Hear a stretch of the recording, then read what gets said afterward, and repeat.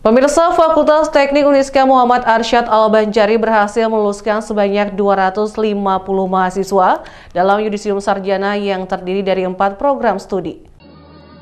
Menyelesaikan pendidikan di tengah situasi pandemi COVID-19 tidak menjadi kendala yang berarti bagi mahasiswa Fakultas Teknik Universitas Islam Kalimantan Uniska Muhammad Arsyad Al-Banjari Banjarmasin karena mereka berhasil melewatinya hingga dinyatakan lulus dan berhak mengikuti yudisium sarjana ke-28. Pada semester genap tahun akademik 2020-2021, sebanyak 250 mahasiswa Fakultas Teknik berhak menyandang gelar sarjana usai dilakukan yudisium oleh pimpinan fakultas Rabu 1 Desember 2021 di salah satu hotel berbintang di Banjarmasin. 250 mahasiswa tersebut terdiri dari empat program studi, yaitu 124 orang dari teknik sipil, 81 orang dari teknik mesin, 29 orang dari teknik elektro, dan 16 orang dari teknik industri. Tingginya persaingan di dunia industri, Dekan Fakultas Teknik Dr. Insinyur Muhammad Marsudi meminta lulusan agar tidak minder bersaing dengan perguruan tinggi lainnya seperti ITB dan UGM karena mereka telah dibekali banyak ilmu dan keterampilan semasa perkuliahan.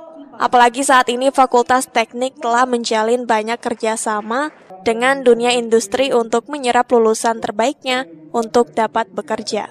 Kita lakukan pembekalan berupa pelatihan-pelatihan keteknikan, Nah, itu kerjasama dengan Balai Jasa Konstruksi di juga Kalimantan Kemudian kita lakukan uh, pelatihan komputer secara gratis. Jadi yang mau lulus itu kita crash program lah yang yang pelatihan komputer yang kira bermanfaat di lapangan. Gitu. Kalau lulusan kita banyak terserap di industri, ya. Jadi eh, tersebar di seluruh Indonesia lah, ya. Jadi.